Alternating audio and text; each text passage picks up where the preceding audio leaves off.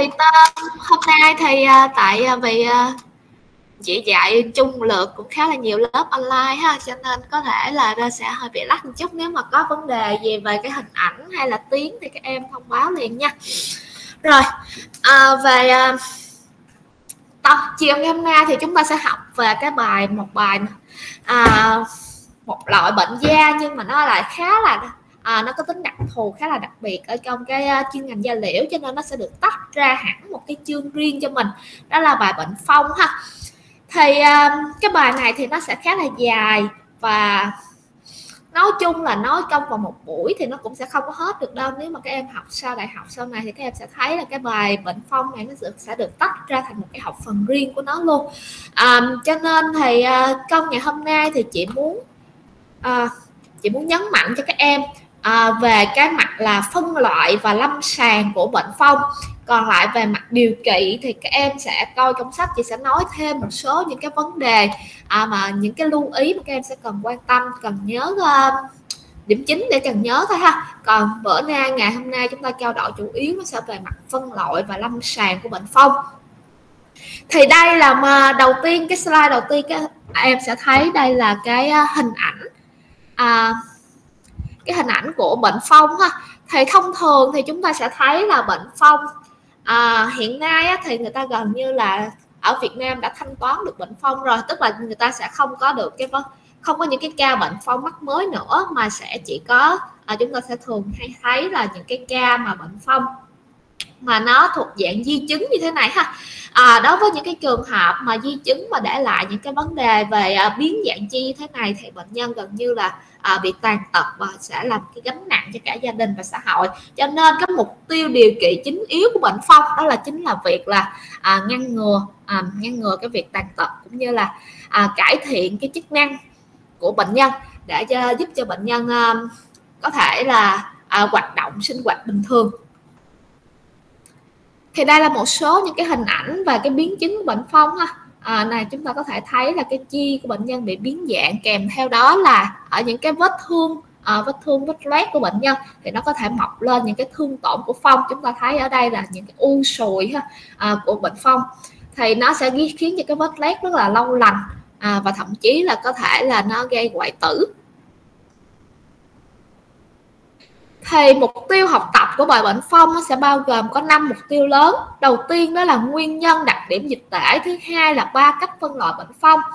À, và thứ ba triệu chứng lâm sàng thể lâm sàng. Thứ tư ba yếu tố chẩn đoán. Thứ năm là nguyên tắc phát đồ điều trị và phòng bệnh. Tuy nhiên thì ngày hôm nay như đã nói thì chúng ta sẽ tập trung chủ yếu ở ba cách phân loại bệnh phong cũng như là những cái triệu chứng lâm sàng nó đi theo những cái thể à, những thể bệnh phong này.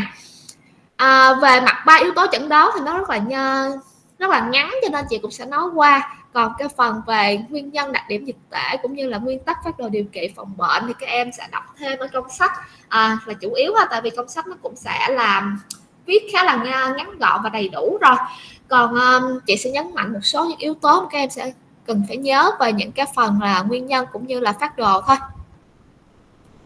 thì đầu tiên thì nói về nguyên nhân của bệnh phong thì nó là do một cái con vi khuẩn gây ra ha. Họ con vi khuẩn này là mycobacterium thì các em sẽ thấy nó sẽ à, nó cùng một họ với vi khuẩn lao đối với vi khuẩn lao đó là mycobacterium tu, tuberculosis. Còn đối với vi khuẩn phong nó là mycobacterium lepra ha. Thì cả um, cái nhóm vi khuẩn này nó là cái nhóm vi khuẩn không điển hình cho nên chúng ta sẽ không có sử dụng nó không có thành uh, cái vách tế bào bên ngoài cho nên chúng ta sẽ không có thể sử dụng cái kỹ thuật nhuộm ram để nhuộm những cái loại vi khuẩn này. Chúng ta phải sử dụng cái kỹ thuật uh, nhuộm nó đặc thù của nó ha.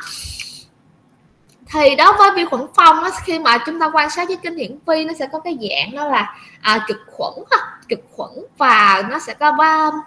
khi nhuộm cái cồn axit thì nó sẽ có cái mặt bắt màu màu à, cam màu đỏ như thế này thì nói chung thì về dịch tễ thì của bệnh phong nó có thể gặp ở khắp nơi. À, ở cả giới tính nam và nữ là như nhau. Tuy nhiên đối với giới tính nam thì thông thường à, tỷ lệ mắc bệnh phong có thể nặng nó sẽ cao hơn so với là giới tính nữ ha. À, hầu như là tất cả các mọi chủng tộc thì cái tỷ lệ mắc bệnh đều như nhau ở mọi lứa tuổi cũng vậy. À, tuy nhiên thì có cũng có một cái à, à, độ tuổi mà thông thường nó sẽ hay gặp à, bệnh phong nhiều hơn. Thì ở trong sách các em cũng có ghi. Về mặt đường lây thì bệnh phong có thể lây qua cả hai đường hô hấp và đường tiếp xúc ha. thì đây là hai cái đường lây mà chúng ta sẽ thấy là nó là à, rất là dễ lây nhiễm. À, tuy nhiên thì cái vấn đề mà bị à, bị nhiễm vi khuẩn phong từ người bệnh á, thì rất là dễ tại vì nó lây qua những cái đường rất là dễ dàng à, trong cái việc lây nhiễm như là hô hấp và tiếp xúc. Nhưng mà để bệnh vi khuẩn phong có thể gây bệnh được ở trên người á, nó lại phụ thuộc rất là nhiều vào những yếu tố. À, mà biệt đó là cái à, hệ thống miễn dịch của cơ thể. Vì vậy mà bệnh phong nó được gọi là một cái bệnh dễ lây nhưng lại không à, không dễ lây. Tại vì à, cái việc mà tiếp xúc với lại vi khuẩn phong rồi thì cái việc mà chúng ta bị nhiễm bệnh hay không nó lại phụ thuộc rất là lớn vào cái hệ thống miễn dịch. À, có rất là nhiều những cái người à, nhiễm vi khuẩn phong tuy nhiên thì do cái hệ thống miễn dịch của họ mạnh à, cho nên uh,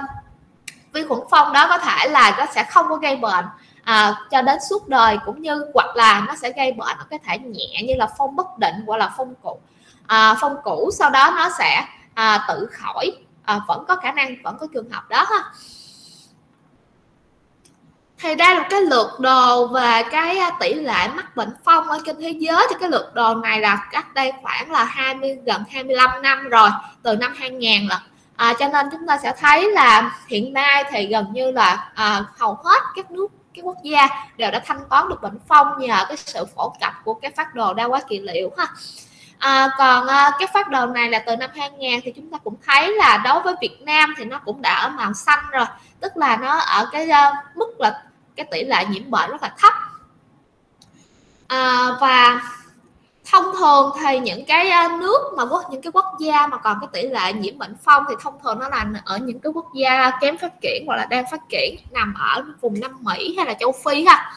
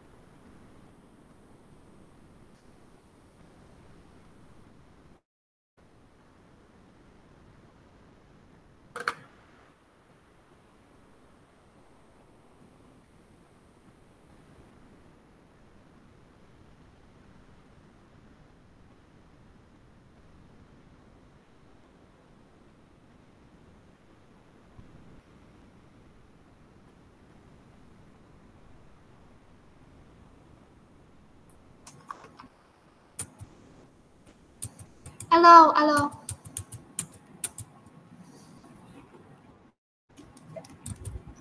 Rồi chị lát để tôi cho kịp kìa.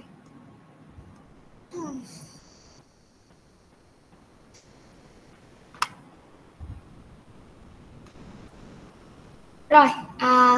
tiếp ha hồi nãy có sự cố một chút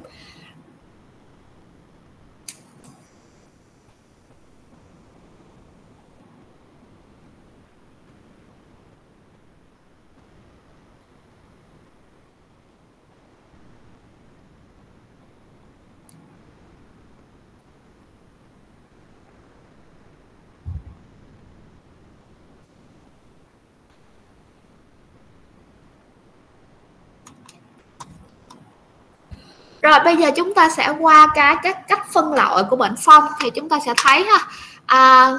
bệnh phong thì được phân loại theo ba à, có rất là nhiều cách phân loại bệnh phong nhưng mà trong bài học ngày hôm nay của chúng ta học thì chúng ta sẽ phân loại bệnh phong theo ba cách.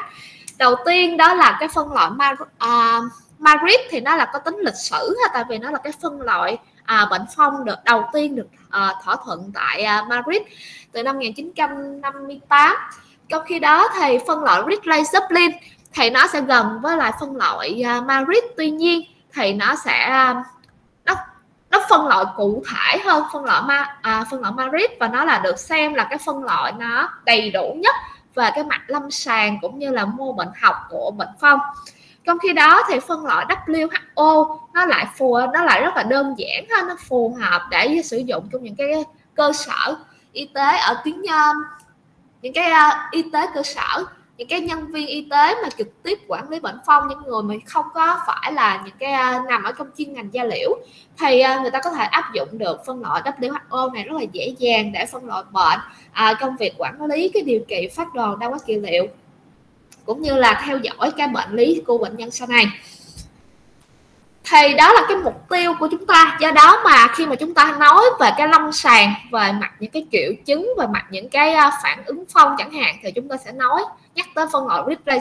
tại vì nó là cái phân loại đầy đủ nhất cũng như là à, nó à, nó thể hiện được cái phổ triệu chứng liên tục của bệnh phong. Trong khi đó khi mà nhắc tới điều trị nhắc tới quản lý uh, bệnh phong ở uh, tuyến cơ sở ha, thì chúng ta sẽ sử dụng phân loại WHO tại vì nó là đơn giản và nó dễ ứng dụng được cho những cái nhân viên y tế tại đây. Thì cả ba cái uh, phân loại này nó sẽ có một cái sự tương tương quan với nhau à, được thể hiện qua cái bảng ha. Thì chúng ta đã thấy phân giữa phân loại Madrid và phân loại Ridley Zeppelin nó sẽ có sự tương đồng với nhau. Nó chỉ khác là cái phân loại Ridley Zeppelin nó sẽ là kỹ hơn so với lại phân loại Madrid thôi. À, chúng ta chúng ta đã thấy là phân loại Madrid nó sẽ có ba bốn phân loại. Đó là phân phân loại Madrid nó sẽ có bốn phân loại ha. Thì nó sẽ là cái phân loại uh, phong bất định phong cũ phong u và phong trung gian. Trong khi đó thì đối với phân loại Ridley Zeppelin thì cái phần uh, phong bất định, nó vẫn giữ nguyên. Trong khi đó thì giữa, nó sẽ thêm những cái nhóm chuyển tiếp ha, giữa phong cũ và phong trung gian, cũng như là giữa phong trung gian và phong u. Thì chúng ta sẽ thấy đó là cái nhóm phong trung gian gần cũ và phong trung gian gần u. Thì để ờ, nó nó thêm vào những cái nhóm chuyển tiếp này để nó thể hiện được cái phổ triệu chứng liên tục ha, chúng ta sẽ biết ờ, một lát thì chúng ta sẽ học rõ hơn về cái phần triệu chứng của bệnh phong. Thì chúng ta sẽ thấy à, là bệnh phong cái triệu chứng nó sẽ thay đổi rất là nhiều dựa trên những cái tác động à, của chúng ta vào khi mà à, vào bệnh nhân. Bằng à, bằng thuốc nè bằng những cái điều trị của chúng ta hoặc là do bệnh nhân không điều trị chẳng hạn thì khi đó thì chúng ta tác động vào như vậy thì cái hệ thống miễn dịch của bệnh nhân nó sẽ thay đổi và cái sự thay đổi miễn dịch này nó sẽ ảnh hưởng đến những cái triệu chứng của bệnh phong và khiến cho bệnh nhân có thể hiện những cái triệu chứng nó thay đổi rất là à, nhanh theo cái phổ triệu chứng ha à, do đó mà khi mà có những cái thể, thể chuyển tiếp như thế này thì nó sẽ thể hiện một cách rõ ràng hơn cái sự chuyển tiếp giữa những cái giai đoạn với nhau. Trong khi đó thì đối với cái thể của phân loại của WHO á, thì nó chỉ ờ, nó rất là đơn giản nó chỉ chia thành hai cái nhóm hai nhóm chính thôi đó là phong ít khuẩn và phong nhiều khuẩn. Và để phân loại hai cái nhóm này thì càng đơn giản hơn nữa là chúng ta chỉ cần đếm số lượng bệnh phong à, ờ, những cái thương tổn bệnh phong ở trên da của bệnh nhân thôi nếu mà cái số lượng thương tổn nó nhỏ hơn năm thì chúng ta sẽ nói đó là bệnh phong ít khuẩn ha. Nếu mà số lượng thương tổn lớn hơn năm thì chúng ta gọi đó là phong nhiều khuẩn. Do cái cách mà phân loại đếm cái thương tổn này thì gần như là tất cả nhân viên y tế cho dù không phải là chuyên ngành da liễu thì còn vẫn có thể đếm được. À, do đó mà cái phân loại này nó được áp dụng à, để à, điều trị và quản lý bệnh phong ở tuyến cơ sở à, một cái để phân loại trong WHO thì ngoại trừ là việc đếm ờ, đếm những cái thương tổn ha, thì nó cũng có thể dựa vào cái cận lâm sàng để phân loại theo cái ờ, cái thể cách phân loại này. À, cận lâm sàng nếu mà chúng ta lấy cái mô tại những cái vị trí mà thương tổn mà chúng ta nghi ngờ là thương tổn bệnh phong á, chúng ta xét nghiệm chúng ta tìm à, cái ờ, cực khuẩn phong dưới cái hiển vi à, tại những cái mô đó. Mà nếu mà chúng ta à, không có quan sát được những cái cực khuẩn phong đó thì chúng ta nói nó âm tính ha. À, BI âm tính thì chúng ta sẽ nói đó là bệnh phong ít khuẩn. Còn đối với những cái trường hợp mà BI dương tính thì chúng ta sẽ gọi đó là bệnh phong nhiều khuẩn. Thì à, đã giữa giữa phân loại Ritalin và phân loại WHO nó để sẽ có sự tương quan với nhau. À, thì chúng ta sẽ thấy bệnh nhóm phong ít khuẩn nó sẽ bao gồm có bệnh phong à, nhóm phong bất định và nhóm phong cũ của phân loại Ritalin à, và một phân nửa của nhóm phong trung gian gần cũ. Trong khi đó thì thể phong nhiều khuẩn nó sẽ bao gồm à, những cái à, những cái phần bên tay phải ha nó là bao gồm phong u nè phong trung gian gần u phong trung gian và một nửa của phong trung gian gần cũ. Thì à, một lát thì trước khi mà chúng ta học về cái à, phần mà chúng ta cận lâm sàng của bệnh phong thì chúng ta sẽ biết ha đối với phân loại à, đó những cái thể phong bất định và thể phong cũ thì gần như hầu như à, những cái à, bệnh nhân này khi mà chúng ta lấy lấy mô và chúng ta xét nghiệm chúng ta tìm hình ảnh cực khuẩn phong với cái hiển vi thì gần hầu hết nó đều là BI âm tính do đó mà nó sẽ nặng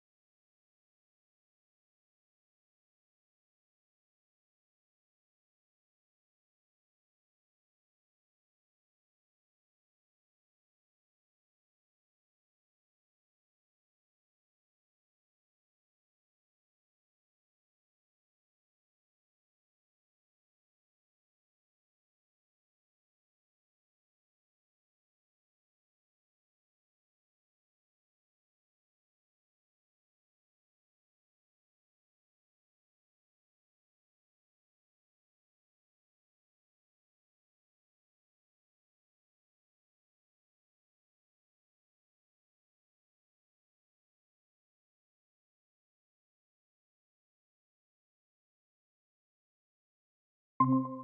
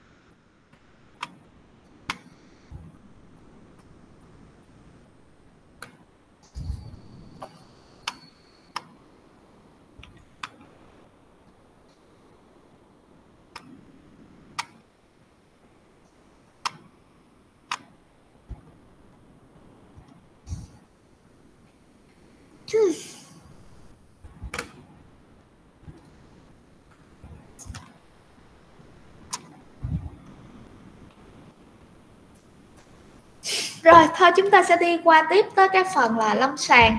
Thì uh, lâm sàng nói chung thì bệnh phong nó sẽ có thời gian ủ bệnh rất là dài Trung bình là 3 đến 5 năm kể từ khi bắt đầu có những cái ờ, vi khuẩn phong xâm nhập vào cơ thể. Tuy nhiên thì đối với một số trường hợp khi mà miễn dịch của cơ thể mạnh thì do cái thời gian ủ bệnh này có thể kéo dài à, cao hơn nữa ha gần như là chục năm thậm chí là suốt cả đời cũng không phát bệnh. Thì à, tới giai đoạn khởi phát thì những cái triệu chứng của bệnh phong hầu hầu như là sẽ rất là khó phát hiện tại vì nó là những cái triệu chứng nó âm thầm và nó cũng không có điển hình cho bất kỳ bệnh nào. Thí dụ như là mệt mỏi nhức đầu sốt nhẹ à, và đôi khi thì nó có những cái dị cảm ở trên da như là cảm giác vướng mạng nhện hầu như thì ờ, chỉ có khi mà bệnh phong đã ở giai đoạn còn phát thì người ta mới phát hiện ra được à, cái triệu chứng của bệnh phong. À, trừ những cái trường hợp mà người thân bị bệnh phong ha, và chúng ta tầm soát đối với những người tiếp xúc thì khi đó thì chúng ta có thể phát hiện bệnh phong ở giai đoạn sớm hơn. Nhưng hầu như thì chúng ta sẽ à, chỉ phát hiện ra bệnh phong ở giai đoạn toàn phát khi mà có những cái biểu hiện khác nhau tùy thuộc cái thể bệnh. Và cũng như là cái miễn dịch trung gian tế bào thì chúng ta sẽ thấy là biểu hiện của bệnh phong nó chủ yếu nó tập trung ở ba hai cái à, bộ phận đó là da và thần kinh. Ngoài ra thì đối với những cái thể bệnh phong như là thể bệnh phong u à, cái thể nặng nhất của bệnh phong thì chúng ta sẽ thấy nó có thể là bị ảnh hưởng tới những cái cơ quan khác của cơ thể. Nhưng nhìn chung thì hai cái bộ phận chính mà bị ảnh hưởng à, của viêm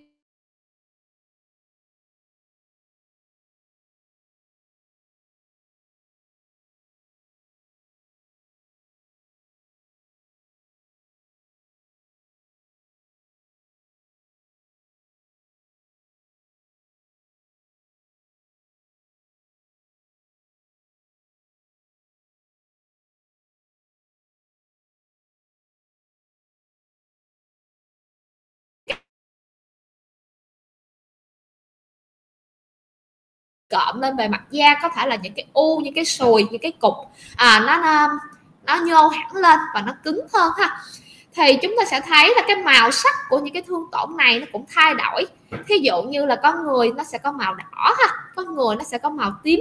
à, màu tím đồng. À, một số những cái thương tổn tùy thuộc cái thể bệnh thì thương tổn nó có thể là có ranh giới rõ ràng à, hoặc là thương tổn nó có ranh giới không rõ thí dụ như là những cái hình ảnh ở phía trên này à, thì chúng ta sẽ thấy cái hình bên quả bên tay trái ha thì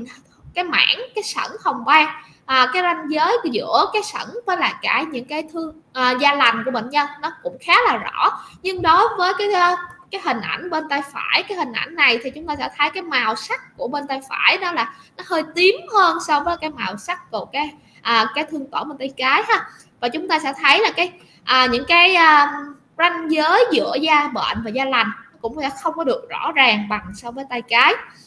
và ngoại trừ những cái thương tổn mà nó nổi gờ lên bề mặt da ờ, đối với hình bên tay phải ha thì chúng ta sẽ thấy ngoại trừ những cái thương tổn nổi gờ lên mình mà bề mặt da thành cái những cái sẵn cái mảng thì chúng ta sẽ thấy có những cái thương tổn nó nằm ở trên à, nằm phẳng ở trên da đó là những cái giác ha và những cái giác này là giác giảm sắc tố à, và ranh giới của giác cái giác giảm sắc tố này nó hoàn toàn nó không có rõ ràng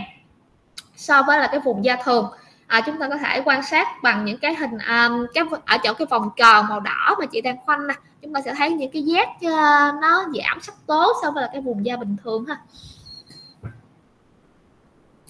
Đối với thần kinh thì chúng ta sẽ thấy một cái triệu chứng điển hình của cái à, bệnh phong đó là việc mất cảm giác tại cái vùng thương tổn. Thì đó là cái triệu chứng mà để giúp chúng ta chẩn đoán phân biệt giữa bệnh phong với lại những cái bệnh lý da liệu khác. Đó là cái sự mất cảm giác trên thương tổn ha. À, ngoại trừ cái việc là mất cảm giác vùng thương tổn thì chúng ta cũng thấy là nó có bệnh phong nó ngoại trừ cái uh, thần kinh cảm giác ra nó cũng ảnh hưởng đến cái thần kinh vận động của bệnh nhân. À, nhất là đối với những cái thể bệnh phong nặng và thể bệnh phong nó à, tiến triển lâu dài thì chúng ta sẽ thấy là thần kinh của bệnh nhân có thể sẽ bị ảnh hưởng bằng cái à, việc là nó sẽ teo cơ chúng ta thấy teo à, bệnh nhân này bị teo những cái cơ gian đốt ngón rất là rõ ràng. À, và mất những cái động tác do cái thần kinh đó chi phối. Thí dụ như đối với bệnh nhân bên tay phải sẽ là mất cái à, cái động tác đó ngón cái ở bên uh, bàn tay cái ha. Thì à, nếu mà chúng ta sẽ không có à, sử dụng phát đúng phát đồ điều trị cho bệnh phong và chúng ta để cái bệnh tiến triển lâu dài thì cái việc là à, tổn thương thần kinh vận động này nó sẽ kéo dài và nó sẽ khiến cho bệnh nhân bị liệt à, và mất những cái à, chức năng cơ thể. Đây là cái à, vấn đề mà chúng ta lo ngại nhất đối với bệnh phong ha. Và đây là cái hình ảnh những cái à, những cái ảnh hưởng của bệnh phong ở những cái cơ quan khác. Thì đối với những cái thể như là thể phong u chẳng hạn thì chúng ta sẽ thấy là những cái thương tổn phong ngoại trừ ở trên da và con ở thần kinh thì nó có thể ảnh hưởng tới những cái vùng xương sụn à, nó um, nó mọc lên những cái cục u ở cái uh, sụn mũi ha. À, cánh mũi của bệnh nhân nó tạo thành cái hình ảnh như là vẽ mặt sư tử chẳng hạn. À, như là cái hình ở bên tay trái. Đôi khi nó cũng sẽ làm mất những cái ờ, à, uh, uh, là mất cái khả năng à, vận mi của bệnh nhân. Nó tạo thành cái hình ảnh à, sụp mi mắt ha, hình ảnh mắt thỏ đối với bệnh nhân bên tay phải. À, cũng như là nó ảnh hưởng đến những cái tuyến sinh dục nó gây vú to nó gây à, vô sinh ở nam chẳng hạn.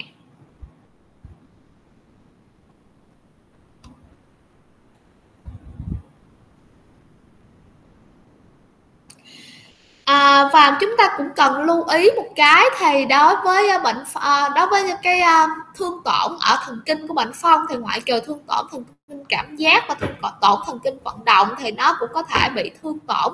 ở à, thần kinh à, tự chủ ha. Thì do thương à, thần kinh tự chủ thì thông thường nó sẽ gây cái việc là nó sẽ giảm tiết mồ hôi là giảm tiết bã nhờn nó gây khô da à, và nó sẽ khiến cho những cái phần phụ của da nó cũng sẽ bị ảnh hưởng à, những cái vùng mà nó bị những cái vùng da bị thương tổn phong thì nó có thể nó sẽ bị rụng lông rụng tóc. À, và nhiều bệnh nhân phong à, thì chúng ta sẽ thấy là nó sẽ bị rụng hết lông mày đúng không thì đó là một cái uh, biểu hiện mà chúng ta cũng có thể gặp ở uh, những cái bệnh nhân phong. Một cái vấn đề nữa của triệu chứng thần kinh thì nó sẽ chia thành hai cái uh, hai cái giai đoạn người ta gọi là giai đoạn sớm và giai đoạn muộn. Ở giai đoạn sớm thì khi mà vi khuẩn phong mới tấn công vào cái dây thần kinh thì nó sẽ gây viêm dây thần kinh ha. Và đây là viêm dây thần kinh phì đại. Do đó mà ở giai đoạn này chúng ta khi mà chúng ta thăm khám chúng ta sờ à, sờ dọc theo cái đường đi của dây thần kinh thì chúng ta sẽ thấy là à, cái cảm giác nó giống như cái dạng chuỗi hạt do nó gây viêm ở dây thần kinh mà có bao myelin thì nó sẽ gây à, những cái vùng mà có bao bao myelin nó siết á, thì nó sẽ phình to hơn so với cái độ mà không có bao bao myelin do đó mà chúng ta sẽ sợ thấy dưới da cái dạng cái thần kinh nó phì đại cái hình chuỗi hạt ha. À, và một cái vấn đề ở giai đoạn này thì mặc dù cái giai đoạn này nó mới viêm dây thần kinh thôi nó chưa có tổn thương và chức năng của dây thần kinh nhưng mà nó sẽ có một cái vấn đề là do cái tình trạng là sưng sưng phù. À, nó có thể siết những cái mạch máu do tình trạng viêm và phù nề ở ta tại chỗ nó có thể gây à, siết những cái mạch máu nuôi dưỡng thần kinh và khiến cho cái à, vùng à, thần kinh bị thiếu máu nuôi và gây hoại tử thần kinh tại đây. Nếu mà chúng ta không khống chế được cái tình trạng viêm thần kinh và do đó những cái trường hợp mà tổn thương thần kinh ở giai đoạn sớm này thậm chí à, nếu mà có tình trạng hoại tử ở đây thì nó sẽ gây mất chức năng cho bệnh nhân nhanh hơn so với lại à, khi mà bệnh nhân à, ở giai đoạn sau ở giai đoạn sau giai đoạn tổn thương thần kinh thậm chí là mất chức năng nó sẽ còn chậm hơn so với cái giai đoạn viêm nếu mà chúng ta không có à, để ý và quản lý được cái tình trạng viêm của bệnh nhân.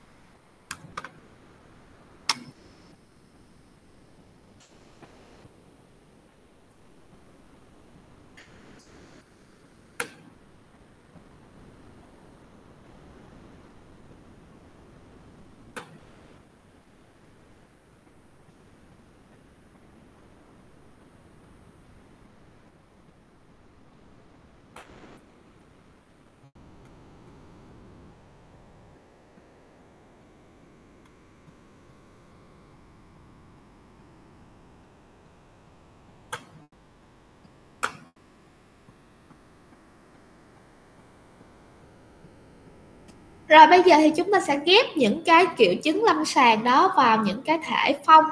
À, những cái thể phong nó vào những cái thể phong của cái à, phân loại Ritrazepline ha. Thì đầu tiên chúng ta sẽ có phong bất định. À, đã gọi là phong bất định rồi ha. Thì đó là cái thể đầu tiên mà à, vi khuẩn phong gây ra trên người bệnh. Thì à, đó khi mà vi khuẩn phong nó bắt đầu nó khởi khởi phát và nó gây bệnh à, cho bệnh nhân thì nó sẽ ở thể phong bất định này. Thì đã gọi là phong bất định thì tức là nó sẽ chưa có định được uh, nó chưa quyết định được cái hướng đi cái đường cái đường lối của nó nó sẽ uh, phát triển ở trong cơ thể thế nào. Do đó mà đối với cái thể phong uh, đối với ở thể phong này thì diễn tiến của thể phong nó có thể uh, đi theo hướng là tùy thuộc vào cái uh, miễn dịch của cơ thể ha đặc biệt là miễn dịch tế bào tại vì miễn dịch dịch thể thì nó sẽ không có bờ nó sẽ không có hiệu quả.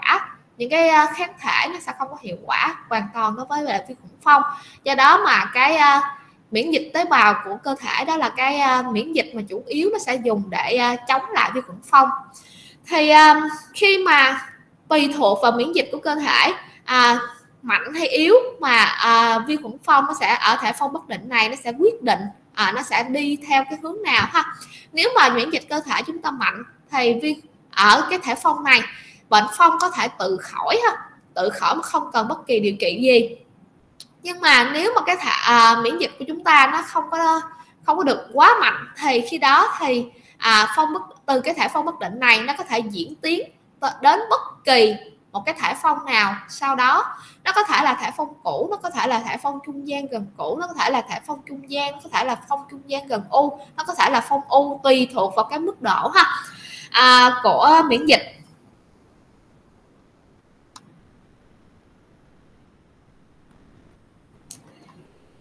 Miễn dịch trung gian tế bào chúng ta càng mạnh thì nó sẽ tiến triển về những cái thể phong mà nó ca nó nhẹ hơn. Trong khi đó nếu mà miễn dịch trung gian tế bào càng yếu thì nó thầy thể từ thể phong bất định nó sẽ tiến triển vào những cái thể phong nó nặng nề hơn. Đó là cực phong u. Trong khi đó nếu mà miễn dịch uh, mạnh thì nó sẽ tiến vào cái cực phong cũ ha. Chúng ta phải chúng ta phải nhìn được cái uh, những cái thể phong này nó nằm ở trong cái phổ liên tục nó chuyển biến liên tục với nhau dựa vào cái miễn dịch trung gian tế bào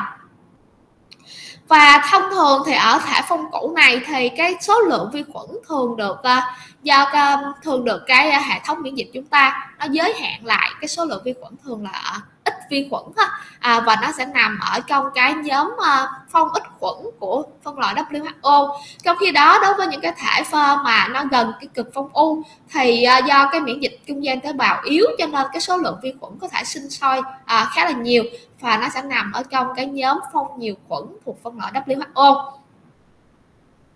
các em sẽ cần phải lưu ý nhớ được cái uh, cái chữ viết tắt của những cái thải phong này ha. Tại vì đôi khi thì câu cái câu hỏi lý thuyết thì nó sẽ không có à, câu hỏi trắc nghiệm thì nó sẽ không có ghi rõ ra là phong cũ phong u phong trung gian phong trung gian gần cũ đâu. Mà nó sẽ viết viết tắt như là phong tt phong bt phong bb ha. À, và các em nên nhớ được cái chữ viết tắt này để các em uh, có thể uh, chọn được cái đáp án đúng thì nói chung và những cái đặc điểm về và cái thương tổn da và cái thương tổn thần kinh đi đi gắn liền với những cái thể này thì chị sẽ nói khái quát về những cái điểm mà nó sẽ khác biệt giữa những cái thể thôi. Còn lại những cái điểm mà nó gọi là đa dạng à, do cái thương tổn của bệnh phong rất là đa dạng cho nên chị sẽ không có lặp lại những cái những cái đặc điểm mà nó không có phải khác biệt hoàn toàn giữa những cái thể. À, các em phải lưu ý là giữa thương tổn da và thương tổn thần kinh nó sẽ có những cái sự liên hệ với nhau ha. À, thương tổn da mà nằm một bên thì thương tổn thần kinh nó cũng sẽ nằm một bên. À, thương tổn da ở giai đoạn sớm thì thương tổn thần kinh nó cũng sẽ ở giai đoạn sớm. Và chúng ta sẽ thấy về thương tổn da của giữa những cái thể phong này nó sẽ khác biệt nhau chủ yếu ở phần là giới hạn của thương tổn giới hạn giữa vùng da bệnh và vùng da lành. À, giới hạn rõ hay không? Và cái tính đối xứng của thương tổn nó bị một bên hay hai bên cơ thể. Thì đó là hai cái vấn đề mà chúng ta sẽ cần lưu ý về cái thương tổn da của mình ở những cái thể phong nó khác nhau. Và thần ờ, những cái thương tổn thần kinh thì nó sẽ đi kèm với lại thương tổn da nhưng có à, nếu mà thương tổn thần kinh ờ, thương tổn da là đối xứng thì thương tổn thần kinh không thường nó cũng sẽ đối xứng. Nếu mà thương tổn da mà à, bị một bên thì nó cũng sẽ thương tổn thần kinh cũng sẽ bị một bên thì đối với thể phong bất định như đã nói hồi nãy ha tiến triển của nó nó sẽ tùy thuộc vào cái hệ thống miễn dịch của cơ thể mà nó có thể đứng yên tại chỗ nó có thể hết tự nhiên hay là nó chuyển sang những cái thể phong khác như là phong cũ hay là phong u. Và cái thương tổn da chủ yếu của thể phong bất định này nó sẽ là thương tổn giác ha, tức là thương tổn nó bằng ở trên bề mặt da. Và đặc điểm của những cái giác này nó sẽ là giới hạn không rõ và thông thường nó sẽ không có đối xứng thì à, đối với cái thể phong bất định này thì nó gọi là phân bất định cho nên nó sẽ không có nằm ở trong những cái quy tắc một lát mà chúng ta sẽ học về cái sự thay đổi của giới hạn cũng như là thay đổi của cái tính đối xứng này. À, thì do đó các em sẽ cần phải học cái thể phong này cách riêng ha. Về mặt cảm giác trên thương tổn da thì đối với thể phong bất định thì cảm giác trên bề mặt thương tổn nó chỉ giảm nhẹ thôi. À, và chúng ta sẽ cần phải khám thần kinh khá là kỹ để chúng ta phát hiện được cái uh, việc là giảm cảm giác này của bệnh nhân. Đây là một cái hình ảnh của giác phong bất định ha. À, nó rất là không ờ, nó không có được rõ ràng. À, và nó sẽ chúng ta sẽ cần phải khám kỹ về cái cảm giác ở trên vùng da này. À, chúng ta thấy được cái sự mất cảm giác thì chúng ta mới nghi ngờ tới bệnh phong. À, còn nếu không thì chúng ta sẽ rất là khó để chúng ta chỉ dựa vào cái hình ảnh của thương tổn để chúng ta chẩn đoán ha. Đối với thể phong cũ thì bắt đầu nó sẽ đi vào cái quy tắc mà nó sẽ chuyển đổi giữa cái những cái thể phong nằm trong cái phổ ờ, phổ triệu chứng với nhau. Thì chúng ta thấy cái thể phong cũ thì được xem là cái thể phong nhẹ nhất mà có triệu chứng à, rõ ràng của bệnh phong. À, và chúng ta sẽ thấy là cái thương tổn lúc này nó vẫn là có thể là giác nhưng mà có một số những cái thương tổn nó bắt đầu nó à, gờ lên cái bề mặt da và nó có dạng là mảng gọi là sẩn. Và những cái giác những cái mảng những cái sẩn này đặc điểm của nó đó là giới hạn rõ ha. Giới hạn rõ giữa vùng da bệnh và vùng da lành. Kèm theo đó đó là cái tính không đối xứng, tức là những cái những cái giác những cái sẩn cái mảng này, nó thông thường nó chỉ nằm một bên cơ thể thôi, nó không có bị bên còn lại thì người ta gọi đó là tính không đối xứng ha. Và à, cái cảm giác ở trên những cái thương tổn này thông thường nó sẽ mất uh, cảm giác rất là rõ à, gần như là mất hoàn toàn luôn cho nên người ta nó sẽ rất là dễ à, chẩn đoán được cái thể phong ở dạng cái thể phong cũ này ha. Tại vì cái à, triệu chứng thần kinh của nó nó khá là rõ ràng.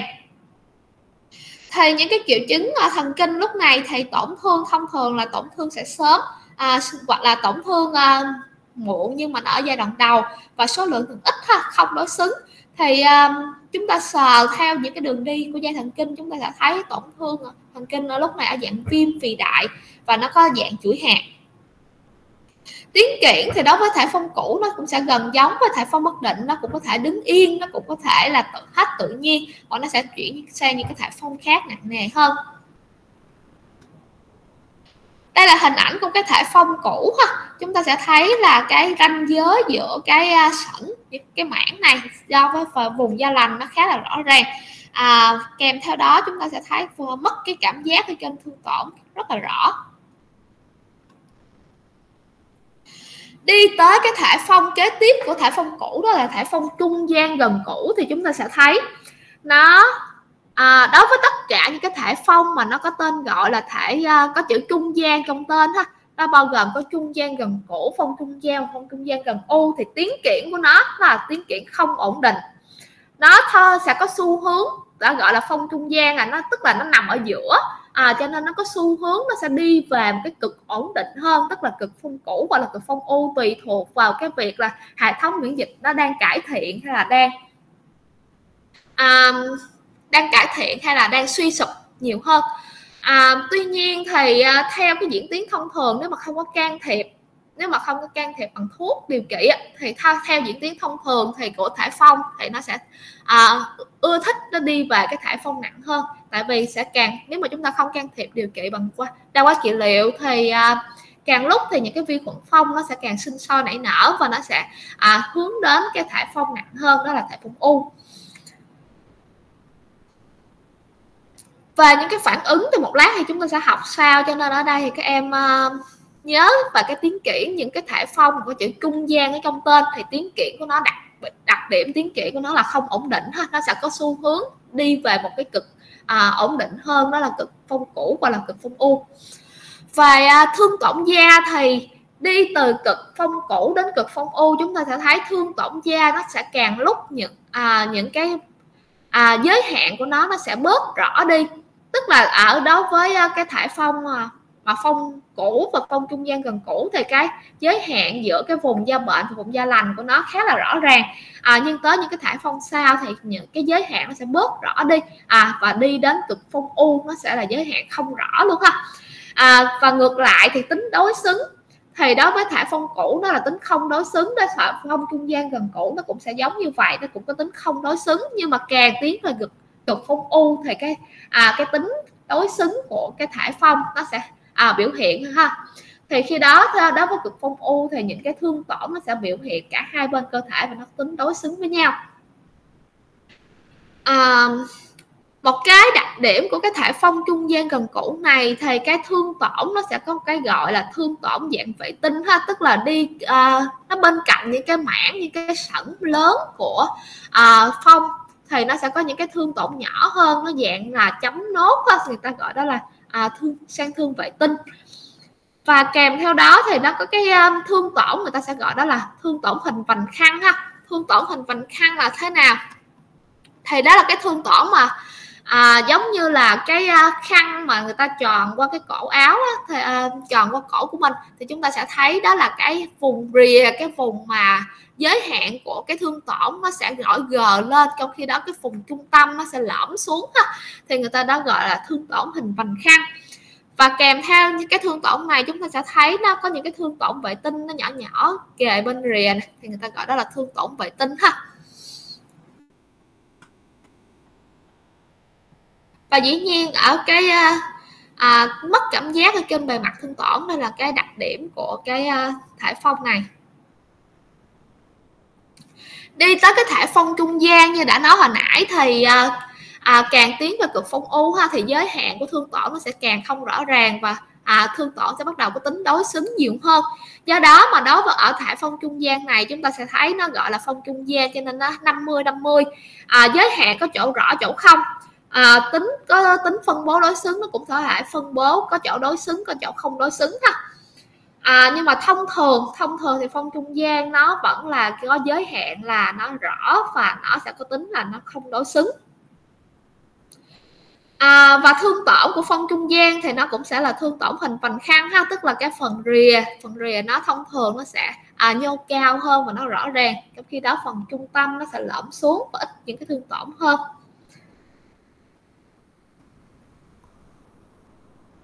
Đây chúng ta sẽ thấy đối với thải phong trung gian ha thì cái phần rìa nó sẽ nhô cao thế này. À, nó có thành vành khăn và trung tâm nó sẽ lõm xuống.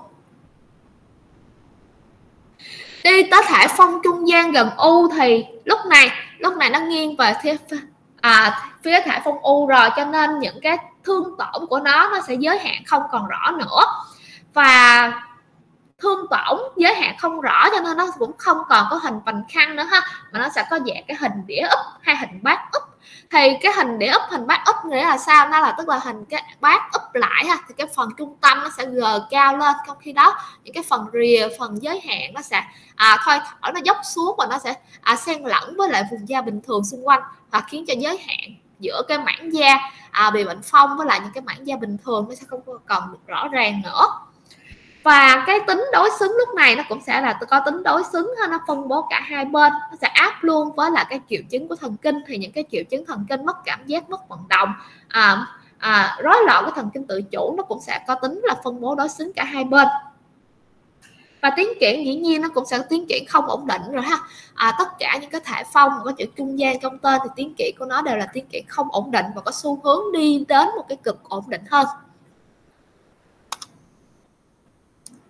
Đây là hình ảnh của cái thể phong trung gian ha. À, phong trung gian gần u. Thì chúng ta sẽ thấy là cái phần trung tâm của nó nó sẽ gờ cao lên. Trong khi đó thì những cái phần mà rìa à, bên ngoài nó sẽ thoi thỏ dốc xuống và nó sẽ à, hòa lẫn lại với lại cái phần da thường. Và đặc điểm ở đây thì chúng ta sẽ thấy là trên bề mặt của cái thương tổn này nó rất là khô ha. Thậm chí là nó bong vảy trắng bệnh luôn. Thì khi này thì chúng ta sẽ thấy là bệnh nhân đã có những cái thương tổn thần kinh à, ở giai đoạn muộn à, nó bị thương tổn cái thần kinh tự chủ khiến cho cái uh, việc tiết mồ hôi tiết bã nhờn ở trên da bệnh nhân à, bị uh, bị ít đi và khiến cho cái da bệnh nhân rất là khô ha. Và cuối cùng chúng ta có thể phong u. À, thì đối với cái thể phong này thì nó cái thương tổn ngoài những cái thương tổn giác sẵn mãn ra thì nó sẽ còn những cái thương tổn mà u cục ha u cục mãn à, những cái thương tổn thâm nhiễm. Những cái thương tổn thâm nhiễm.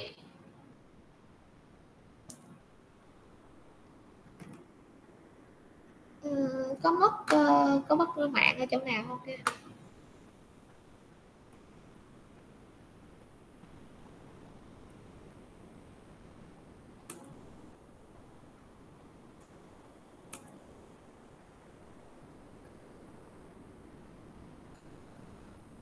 những cái thương tổn thâm nhiễm ha. À, và nó có thể nó sẽ à, thâm nhiễm đến những cái vùng như là xương sụn à, của bệnh nhân và nó tạo thành những cái hình ảnh biến dạng trên khuôn mặt bệnh nhân như là vẻ mặt sư tử rụng lông mày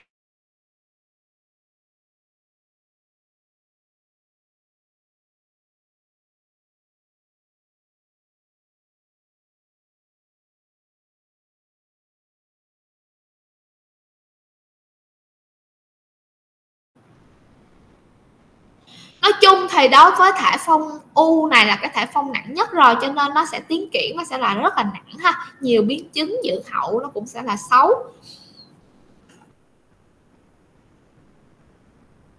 Đây là cái hình ảnh của thể phong u ha. À, những cái à, những cái thương tổn cụ à, cục của phong nó sẽ nằm ở trên những cái thơ, cánh mũi nè chớp mũi và nó tạo thành hình ảnh cái mũi sư tử. Đây là cái hình ảnh khác minh quả ha à, cái hình ảnh vẻ mặt sư tử nó sẽ rõ ràng hơn ở bệnh nhân uh, nam này. Chúng ta sẽ thấy những cái phương tổn u cục của phong nó bám vào cái phần cung ngoài của bệnh nhân. À, kèm theo đó là đặc biệt là nó rụng lông rụng lông mày rụng lông mi. À, nó tạo thành cái hình ảnh cái uh, khuôn mặt của con sư tử đá ở ngoài những cái cửa phủ trong phim cổ trang đó. Rồi thì uh, đặc điểm của thương tổn của phong u thì nó là giới hạn nó không rõ ha chúng ta sẽ nhìn thấy được cái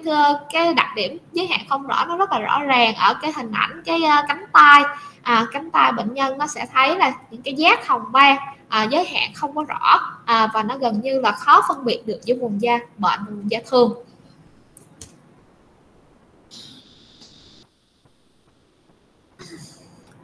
Nói chung thì chúng ta sẽ thấy về cái mặt thương tổn và những cái tính chất của thương tổn da bệnh phong thì đi từ cực phong cũ đến cực phong u nó sẽ có những cái sự thay đổi ha.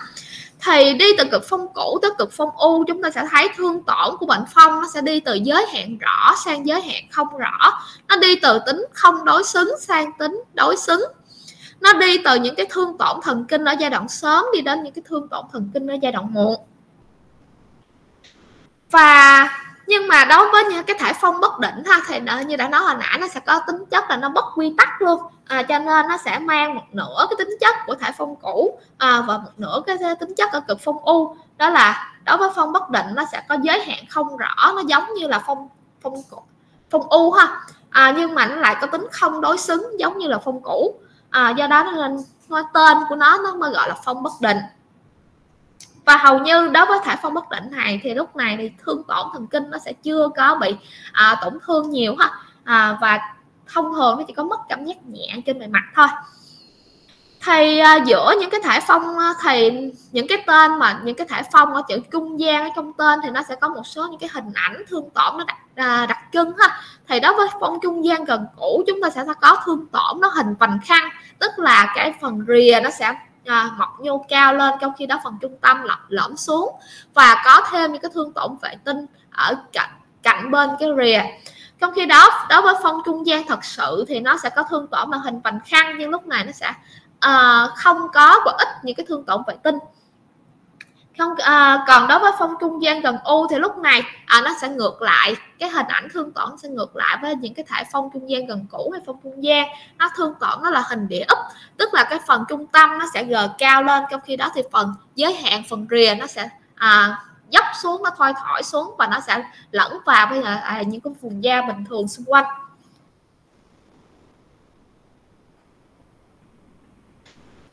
Về mặt cận lâm sàng thì cái thử nghiệm thông thường mà chúng ta hay gặp nhất ở trong bệnh phong đó là thử nghiệm rạch da tìm cực khuẩn Hansen ha. thì chúng ta sẽ lấy cái vùng da vùng mô à, tại cái vị trí mà chúng ta nghi ngờ đó là thương tổn phong và chúng ta sẽ quan sát dưới kính hiển vi tìm cái hình ảnh cái cực khuẩn Hansen tức là cực khuẩn phong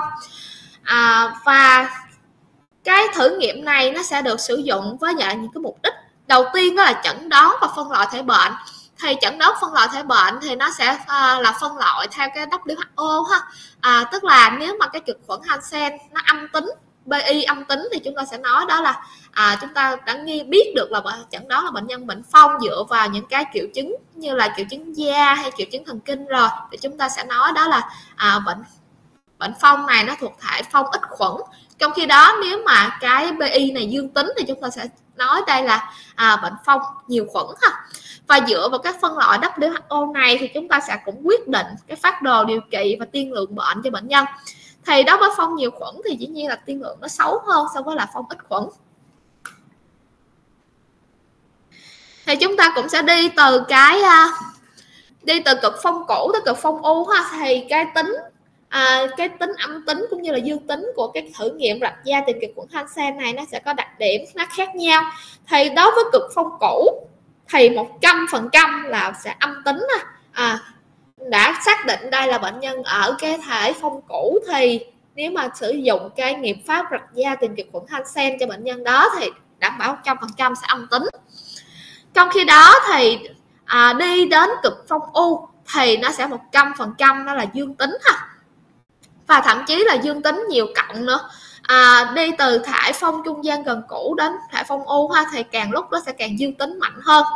Đối với phong trung gian gần cũ thì nó thể chia thành 50 50 tức là 50 phần trăm khả năng là sẽ có âm thể âm tính 50 phần trăm có thể là dương tính. Do đó mà hồi nãy chúng ta nhớ lại cái bảng mà nó tương ứng giữa những cái phân loại giữa à,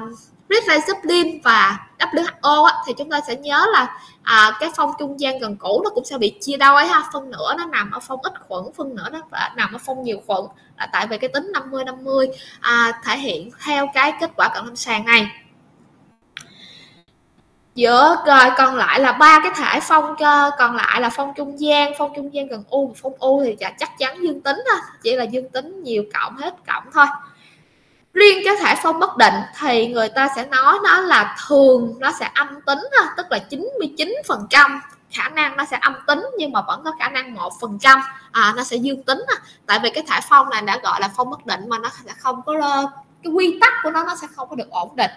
À, do đó mà người ta chỉ có thể nói là thường thôi thường âm tính chứ nó không khẳng định được chắc chắn giống như là phong cũ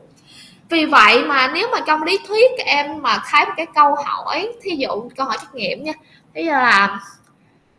trong các thể bệnh phong sau đây thì thể nào mà chắc chắn là sẽ âm tính đối với cái thử nghiệm à, rạch da tìm cực khuẩn Hansen các em phải chọn đó là thể phong cũ thôi chứ không phải là phong trung gian nha.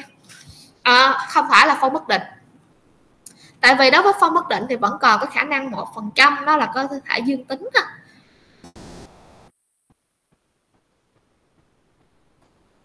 Về mặt chẩn đoán bệnh phong thì chỉ cần có ba cái tiêu chuẩn để chẩn đoán bệnh phong nhưng mà chỉ cần ít nhất một trong những cái uh, tiêu chuẩn này thỏ thì người ta đã có thể là chẩn đoán bệnh phong rồi. Hai tiêu chuẩn đầu tiên thì một tiêu chuẩn đó là tổn thương da tiêu chuẩn thứ hai đó là tổn thương thần kinh ha. À, tổn thương da tổn thương da và nhớ là trong cái tổn thương da này phải kèm theo mất cảm giác trên bề mặt của tổn thương đó ha à, kèm theo đó thì cái tiêu chuẩn thứ hai đó là tổn thương thần kinh. À, biểu hiện bằng phì đại dây thần kinh ở giai đoạn sớm gọi là mất cảm giác yếu cơ bàn tay bàn chân gọi là mặt ở giai đoạn muộn. À, có sự hiện diện của cực khủng phong tại nơi tổn thương thì cái tiêu chuẩn thứ ba này đó là cái tiêu chuẩn về cận lâm sàng ha tức là BI dương tính đó. À, nhưng mà chúng ta cũng nhớ là có một số thể phong thì BI chắc chắc chắn âm tính do đó mà có hoặc là không có cái tiêu chuẩn thứ ba này thì chúng ta à, cũng không có thể nào là chúng ta loại trừ được bệnh phong ha. Thí dụ như là BI âm tính thì chúng ta sẽ không à, có loại trừ được bệnh phong. Chúng ta phải dựa vào hai cái tiêu chuẩn phía trên để chúng ta chẩn đoán bệnh. Thì chẩn đoán phân biệt của bệnh phong thì nó sẽ phụ thuộc vào các uh, biểu hiện cái biểu hiện thương tổn của bệnh phong chủ yếu là gì? Thí dụ như là nếu chủ yếu nó là biểu hiện ở dạng giác á, thì chúng ta sẽ à, sử dụng những cái chẩn đoán phân biệt những cái bệnh lý da liễu mà nó có thương tổn nó là giác. Nếu mà cái biểu hiện của nó là sẩn mãn thì chúng ta sẽ dựa à, chúng ta sẽ tìm uh, những cái chẩn đoán phân biệt những bệnh lý da liễu có thương tổn là sẵn mãn để chúng ta phân biệt thì nói chung thì phân biệt chủ yếu nó sẽ dựa vào cái tính chất là mất cảm giác trên tổn thương ha. À, mất cảm giác trên tổn thương phong để chúng ta chẩn đoán phân biệt giữa bệnh phong với là những cái bệnh lý da liễu khác. Thí dụ như là giác thì chúng ta có thể chẩn đoán phân biệt với lại à, bệnh lăng ban nè. Thì đối với bệnh lăng ban mà nói thì nó sẽ không bị mất thương tổn mất cảm giác trên thương tổn đúng rồi. À, kèm theo đó thì lan ban nó là nấm cho nên sẽ ngứa trên những cái thương tổn này. À, chúng ta chiếu đèn vuốt hay chúng ta cạo da tìm nấm thì sẽ phát hiện những cái bào tử nấm. Đối với những cái thương tổn mà sẵn mãn thì chúng ta có thể chẩn đoán nó phân biệt với lại nấm nấm da à, phân biệt nó với lại vảy nến chẳng hạn. À, tại vì à, những cái thương tổn sẵn mãn của bệnh phong nó cũng có thể có cái tình trạng khô da bông vảy da ảnh hưởng của thần tổn thương thần kinh tự chủ. Hay là đối với những cái thương tổn mà hình vành khăn này thì cái phần bờ của nó nó nhô lên cao thì đôi khi nó sẽ bị dễ nhầm lẫn với lại cái việc là tiến triển ly tâm của bệnh nấm. À, tuy nhiên thì dĩ nhiên là nấm da hay là vảy nến nó cũng sẽ không mất cảm giác trên thương tổn. Thứ hai nữa là nấm da nó sẽ ngứa nhiều ha. À, và chúng ta uh, cạo da tìm nấm sẽ phát hiện những cái hình ảnh đó là sợi tơ nấm hoặc là bào tử nấm trên cái bề mặt da. Còn đối với vảy nến thì chúng ta sẽ thấy là vảy nến thì nó sẽ bông vảy nhiều hơn và vảy nó thông thường nó sẽ thành những cái mảng lớn giống như là à, vảy những cái uh, sáp nến chúng ta cạo ra ha. À, và nó đóng lên thành từng uh, từng lớp ở trên da. Kèm theo đó chúng ta sẽ thấy là nó sẽ có biểu hiện là nó tổn thương móng nữa tổn thương móng trong vảy nến đó là cái yếu tố để giúp chúng ta chẩn đoán. Rồi hồi nãy đã nói là chúng ta sẽ xử uh, để lại những cái phản ứng phong để chúng ta nói sao. Thì à, bây giờ chúng ta nói về cái phản ứng phong ha. Phản ứng phong là gì? Đã nói là phản ứng thì tức là nó sẽ là một cái à, đáp ứng của cơ thể đến với một cái tác động nào đó đến với chúng ta cơ thể và sau đó chúng cơ thể phản ứng lại thì phản ứng phong nói chung là cái sự đáp ứng của à, diễn tiến của bệnh phong à, đáp ứng với là cái điều trị à, chủ yếu là điều trị của chúng ta ha. Thông thường thì nếu mà chúng ta áp dụng đa quá trị liệu thì à, cái việc điều trị của chúng ta thì cái hệ thống miễn dịch miễn dịch trung gian tế bào của bệnh nhân nó sẽ tốt hơn. À, và khi đó thì số lượng vi khuẩn nó cũng sẽ ít đi. Và khi này thì bệnh phong sẽ tiến triển dần về phía cực phong cũ. À, và người ta gọi đó là phản ứng. Phản ứng lên cấp ha. Tức là à, à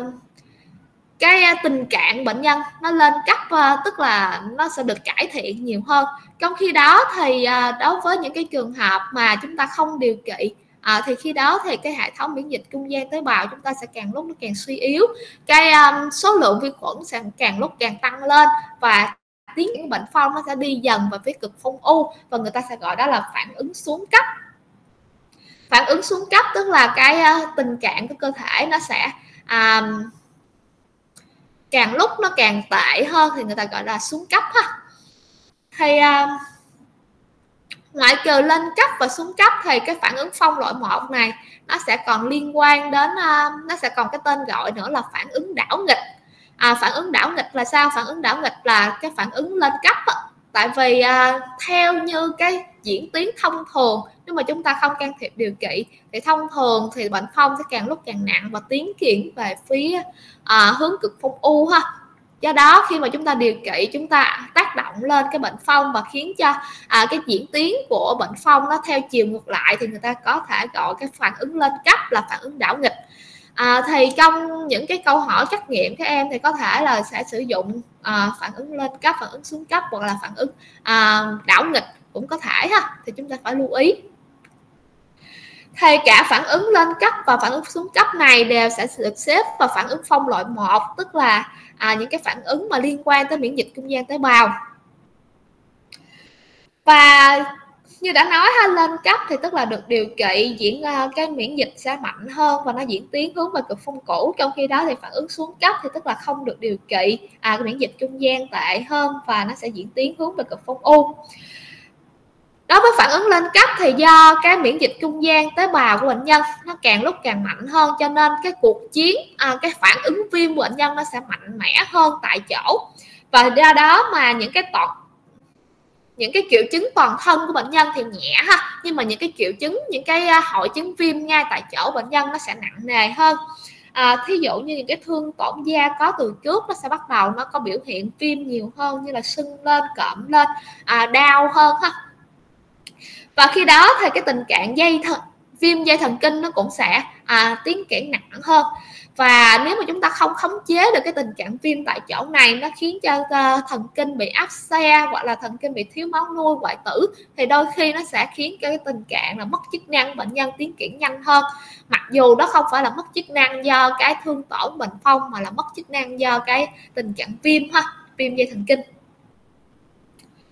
À, còn đối với phản ứng xuống cấp thì nó lại ngược lại thì những cái tổn thương cũ nó sẽ ít tính chất viêm tại vì lúc này thì miễn dịch trung gian tế bào bệnh nhân nó rất suy yếu rồi. Cho nên cái cuộc chiến à, cuộc chiến giữa tế bào miễn dịch và tế à, những cái vi khuẩn phong tại chỗ nó sẽ yếu ớt ha. À, cho nên à, cái phản ứng viêm bệnh nhân nó sẽ rất là yếu. Nhưng mà nó sẽ xuất hiện rất là nhiều cái thương tổn mới và những cái thương tổn này nó sẽ hướng à, nó sẽ có đặc điểm của cái thể phong u nhiều hơn ha. Tại vì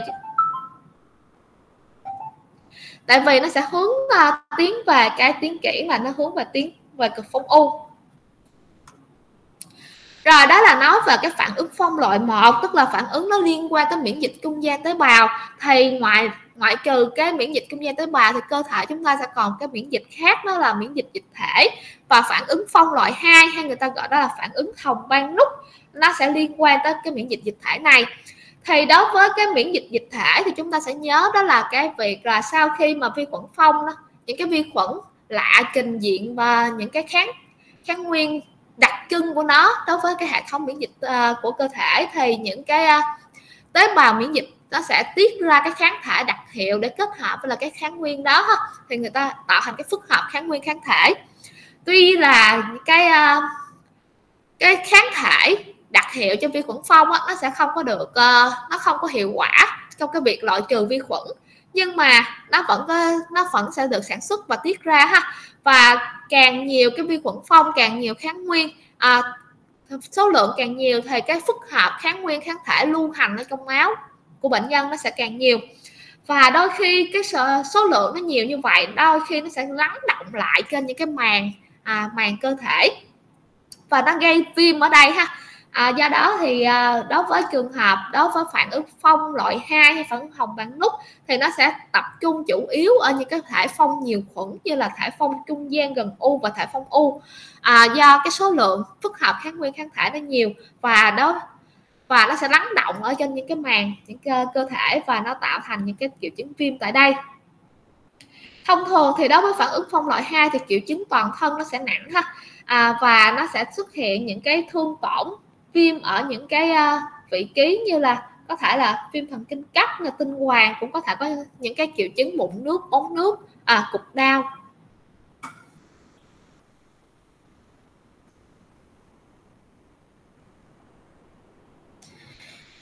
Thì sẽ thông thường cái câu hỏi trắc nghiệm và những cái phản ứng phong nó sẽ hỏi các em về cái việc là à, cái, cái thể phong nào thì nó sẽ ưa ưa thích nó sẽ có những uh, nó có xu hướng nó xuất hiện những cái phản ứng phong ha. Thầy nhớ là đối với phản ứng phong loại 1 tức là cái thể phản ứng phong liên quan tới miễn dịch trung gian tế bào là cái phản ứng phong liên quan tới việc điều trị. Do đó mà thông thường à, những cái phản ứng phong loại, này nó sẽ à, xuất hiện ở những cái thể phong có chữ trung gian ở trong tên ha. Tại vì đây là cái thể phong nó chuyển tiếp à, nó thể hiện cái sự hướng về cực phong cũ hoặc là cực phong u của của bệnh nhân trong khi đó thì phản ứng phong loại 2 tức là những cái phản ứng phong liên quan tới hệ thống miễn dịch à, dịch thể à, nó liên quan tới những cái phức hợp kháng nguyên kháng thể à, lưu hành ở trong máu bệnh nhân thì khi này thì thông thường nó sẽ à, hay gặp ở những cái thể phong nặng như là thể phong trung gian gần u hay thể phong u. Tại vì đối với những cái thể phong này thì số lượng vi khuẩn số lượng kháng nguyên sẽ lớn à, số lượng phức hợp kháng nguyên kháng thể lưu hành trong máu nó cũng sẽ lớn hơn.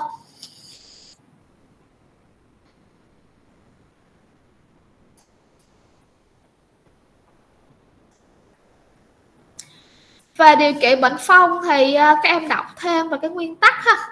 À, phát đồ bệnh phong hầu như là cái phần mà điều trị bệnh phong thì chỗ nào cũng có thể hỏi à, về lý thuyết là gần như là chỗ nào cũng có thể hỏi ha. Cho nên các em cố gắng đọc kỹ cái phần điều trị này. À, về cái phát đồ điều trị của bệnh phong thì chủ yếu nó sẽ chia theo cái uh, phân loại WHO á. Thể nhiều khuẩn nó sẽ có phát đồ điều trị khác và thể ít khuẩn nó sẽ có phát đồ điều trị khác ha. Đối với thể nhiều khuẩn thì nó sẽ điều trị bằng ba thuốc đó là rifampicin, lovacimin và đắp xong trong khi đó thì đối với và cái thời gian để điều trị đó là 12 tháng trong khi đó thì đối với thể ít khuẩn thì chỉ cần hai thuốc thôi đó là rifampicin và đắp xong và thời gian điều trị là 6 tháng. Thì cái liều lượng của từng thuốc nó sẽ phụ thuộc cái độ tuổi của bệnh nhân đó ha à, người lớn thì cái liều lượng khác à, từ 10 đến 14 tuổi thì liều lượng sẽ khác và dưới 10 tuổi thì liều lượng sẽ khác. À, và giữa những cái loại thuốc này thì đối với uh, có một cái loại thuốc là rifampicin nó sẽ là nó sẽ có một cái uh, cách uống người ta gọi đó là uống một lần một tháng và có kiểm soát ha. Thì uống một lần một tháng và có kiểm soát nghĩa là sao? Tức là à, bệnh nhân sẽ lãnh thuốc tại cơ sở y tế một tháng một lần và bệnh nhân sẽ uống thuốc à, đó trước mặt nhân viên y tế thì người ta gọi đó là uống à, có kiểm soát ha. Trong tất cả những cái loại thuốc mà có trong phát đồ đa quá trị liệu này thì rifampicin nó là sẽ là thuốc diệt khuẩn chính. À, nó có hiệu quả diệt tới chính hơn 90 phần trăm cái những con vi khuẩn phong ha. Do đó mà một lát chúng ta sẽ học về cái phần à,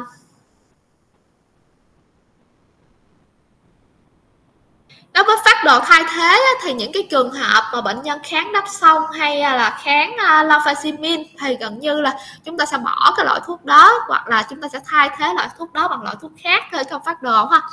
Nhưng mà đối với kháng rifampicin thì thông thường chúng ta là cái thuốc à, diệt khuẩn chính ở trong cái phát đồ điều trị thì chúng thông thường thì sẽ phải thay thế cái rifampicin này bằng một cái tơ tổng hợp nhiều loại kháng sinh hơn như là ofloxacin 400 mg một ngày hoặc là lari lariromycin 500mg một ngày. Hoặc là minoxidil 100mg một ngày. Và thường phải kéo dài cái thời gian điều trị hơn so với ban đầu ha. Lên tới khoảng 24 tháng.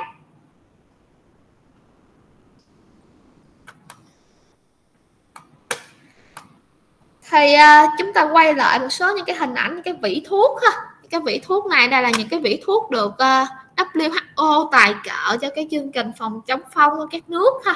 Thì chúng ta sẽ thấy những cái vị thuốc này nó rất là à, rõ ràng. Ở đây chúng ta sẽ thấy là cái hình ảnh cái con nhộng cái con nhộng màu à, nửa trắng nửa đen này thì nó sẽ là cái hình ảnh của rifampicin ha. À, nhìn mặt sau là R300 à. còn cái à, viên mà màu trắng trắng ha thì chúng ta đó thấy đó là cái hình ảnh của đắp xong và nó, phía mặt sau của cái ờ, vỉ thuốc nó sẽ cho chia ngày luôn nó sẽ cho và chia ngày cũng như là cái um, cái uh, chia ngày chia viên mà chúng ta sẽ bệnh nhân cần uống để cho bệnh nhân có thể tuân thủ điều trị tốt hơn. Và cứ hãy là uống xong một vỉ thuốc như thế này thì bệnh nhân phải quay lại cơ sở y tế để uh, nhận thuốc khác và à, uống thuốc rifamycin trước mặt nhân viên y tế ha thì đó là cái phương pháp để chúng ờ, để nhân viên có thể quản lý được cái tình trạng là tuân thủ điều trị của bệnh nhân. Thì ở mỗi vỉ thuốc nó cũng sẽ chia ra nè. À, chữ BB à, chữ BB chữ MB phía sau của cái vỉ thuốc này thì nó có nghĩa là phong ít khuẩn hay là phong nhiều khuẩn ha. Kèm theo đó adult có nghĩa là người trưởng thành ha. Còn đối với uh, các em thì nó có thể nó sẽ chia à, chỗ này nó sẽ ghi là à, children hoặc là nó ghi 10 đến 14 hay gì đó ừ.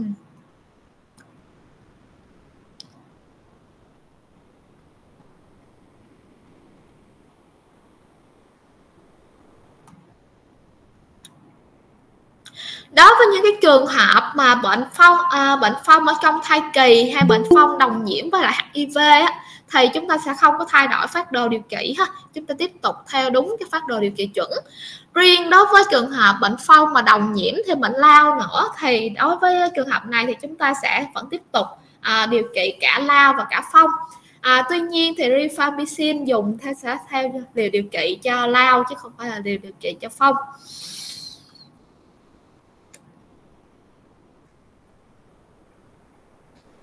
Về phòng bệnh phong á, thì nó sẽ chia thành nhiều cấp độ khác nhau. Thì chúng ta sẽ lưu ý là ba cấp độ này thì cái mức độ dự phòng sẽ có những cái câu hỏi. Thí dụ như là cái uh, phương pháp đó nó thuộc là cái cấp độ nào thì chúng ta phải biết được cái nguyên tắc phân chia cấp độ ha. Đối với cấp độ 1 thì tức là bệnh nhân lúc này chưa bị mắc bệnh phong mà chúng ta phải phòng ngừa cái việc là bệnh nhân nhiễm vi khuẩn phong bệnh nhân mắc bệnh phong. Do đó mà nó có một số những cái uh, những cái phương pháp. Thí dụ như là có sẽ sinh hoạt cho bệnh nhân đúng như cái quan niệm về bệnh phong. À, để bệnh nhân hiểu được là bệnh phong được lây nhiễm từ đâu bệnh nhân à, cái cách phòng ngừa thế nào cái cách à, là phải cải thiện cái hệ thống miễn dịch chúng ta của bệnh nhân. Của người dân ra sao thì mới có thể phòng ngừa được bệnh phong.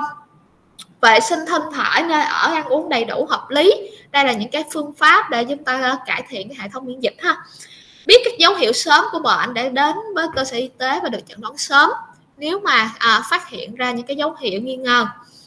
Đối với dự phòng cấp 2 tức là bệnh nhân đã bị bệnh phong rồi và chúng ta sẽ dự phòng bệnh nhân có cái những cái biến chứng nặng nề của bệnh phong. Do đó mà chúng ta sẽ có những cái phương pháp như là uống thuốc đúng đủ, đủ thời gian ha biết cách chăm sóc phòng ngừa tàn phế. Trong khi đó đối với dự phòng cấp 3 đó là trường hợp bệnh nhân phong đã có biến chứng và chúng ta phải à, à, dự phòng à, những cái biến chứng này nó diễn đến những cái ờ, hậu quả nặng nề nhất như là tử vong hay là à, tạo ra những cái mất chức năng hoàn toàn. Do đó mà chúng ta sẽ thấy là nó sẽ có cái ờ, phương pháp đó là chuyển tuyến chuyên khoa đối với những cái trường hợp bệnh nặng. Thì thật ra thì hiện ờ, bữa nay thì cái tình trạng cái mảng mạng nó cũng không có được ổn định và học online, cho nên cũng khó mà ờ, có thể tương tác với em nhiều. Cho nên thì chị cũng đã nói qua được một số những cái vấn đề liên quan tới cái bài bệnh phong. Thì không biết là các em còn những cái vấn đề nào mà chúng ta thắc mắc về cái căn bệnh này thì chúng ta có thể hỏi viết ra, chúng ta hỏi ờ, luôn ha.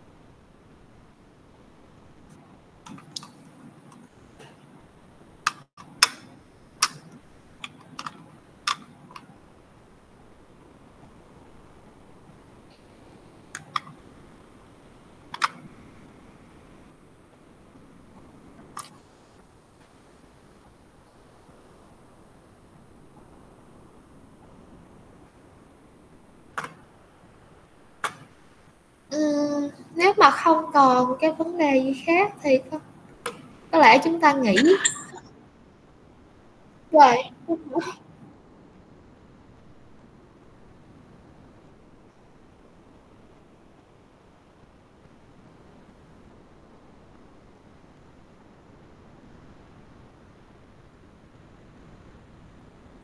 Rồi có một bạn à, có một bạn hỏi về cái phát đồ điều trị lofacimin à, đối với thể phong nhiều khuẩn. À, dùng theo tháng và dùng theo ngày ha. Thì cái này không phải là chúng ta lựa chọn để uh, điều trị theo tháng hay điều trị theo ngày. À, mà là bệnh nhân sẽ uống cả hai cái loại này ha cả hai cái phân nhưng mà theo tháng á, là uống có kiểm soát. Thì đó với phong nhiều khuẩn thì ngoại trừ rifampicin uống có kiểm soát ra thì nó sẽ có một cái viên à, lafaximin mỗi tháng uống lần có kiểm soát trước mặt à, bệnh à, trước mặt nhân viên y tế ha. Còn lại những cái à, viên à, viên 50 mg mỗi ngày gọi là mỗi hai ngày gì đó thì nó sẽ là uống uh, tự bệnh nhân về nhà bệnh nhân uống ha. Còn cái ngày mà bệnh nhân đến bệnh nhân đến cơ sở y tế để nhận thuốc á, thì bệnh nhân đối với những cái trường hợp không nhiều khuẩn thì bệnh nhân sẽ uống à, một viên lafaximin à, và những cái viên uh, rifampicin uh, trước mặt nhân viên y tế chứ không phải là lựa chọn nha em. Rồi còn bạn nào hỏi nữa?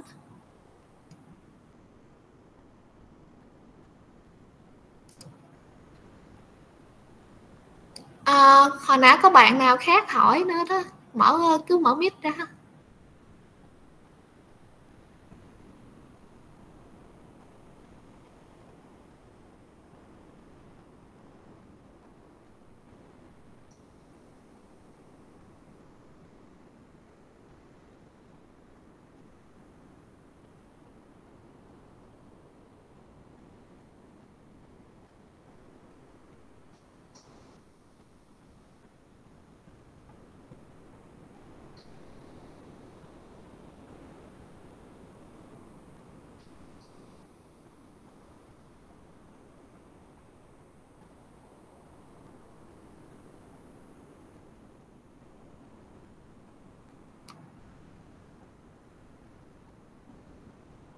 hồi nãy có một bạn nữ nào đó định hỏi mà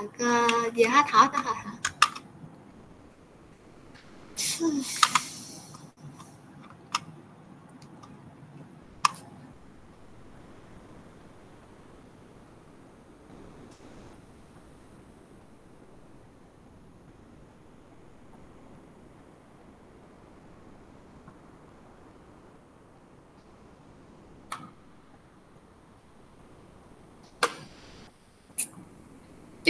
Và cái phần điều trị bệnh phong thì phải có sự so sánh với nhau ha tại vì nó sẽ có cái sự khác biệt giữa nhóm phong ít khuẩn phong nhiều khuẩn và cái thời gian đồ này kia. Thí dụ như là cái thời gian mà điều trị ở phong ít khuẩn là 6 tháng theo dõi là 2 năm trong khi đó thì phong nhiều khuẩn nó sẽ là 12 tháng theo dõi 5 năm. À, sẽ có khá là nhiều những cái câu hỏi nó có sự so sánh với những cái phát đồ này thì các em cũng cần lưu ý.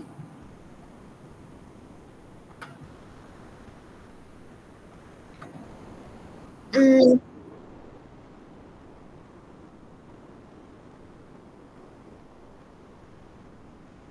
À, tại ngày 1 là cái ngày mà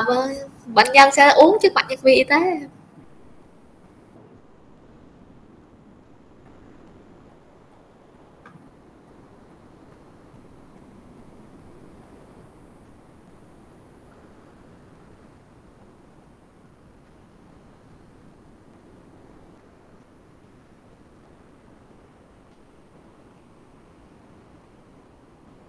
Thông thường á, thì cái ngày một thì cả những cái viên mà đắp xong mà không có cần bắt buộc phải uống trước mặt nhân viên y tế thì người ta cũng sẽ uống luôn ha. Tại vì nói chung là sẽ uống nguyên bụng thuốc ngày đó trước mặt nhân viên y tế luôn cho nên cái phần ngày một nó sẽ nằm ở phía trên.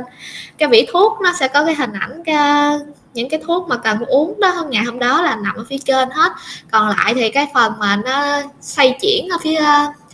à, mà ở trong cái tháng thì nó sẽ nằm ở phía à, từ ngày bắt đầu từ ngày 2 trở đi thôi và thường thì cái vỉ thuốc nó sẽ có khoảng 28 ngày ha. Ờ, chứ người ta không có để tròn 30 31 ngày.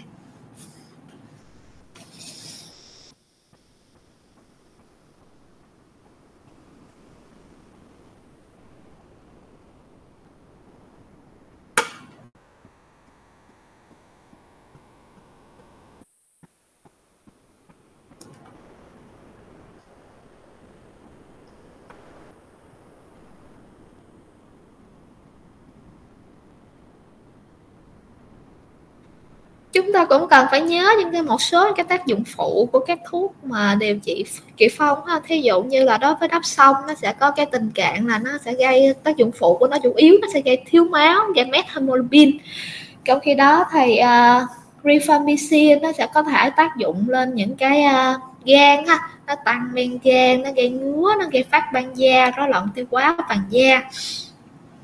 còn lo đối với á, thì nó sẽ có tác dụng lên à, làm tăng sắc tố ở những cái vùng phơi sáng. Nó có tác dụng là nó khiến cho da nhạy cảm ánh sáng đó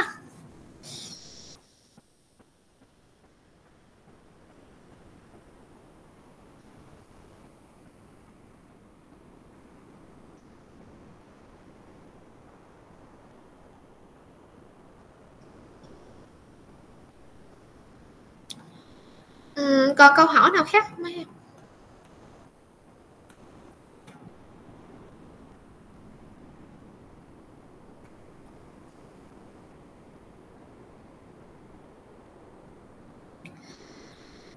À, nếu mà chúng ta chưa có nghĩ ra câu hỏi nào khác thì chúng ta sẽ kết thúc bài ở đây ha. À, và nếu mà có những cái vấn đề nào mà cần trao đổi thêm thì em cứ em cứ uh,